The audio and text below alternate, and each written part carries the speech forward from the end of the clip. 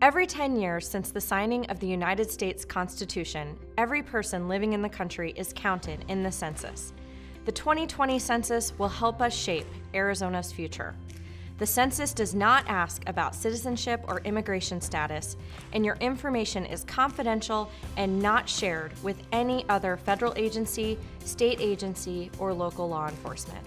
Learn more and respond at azcensus2020.gov.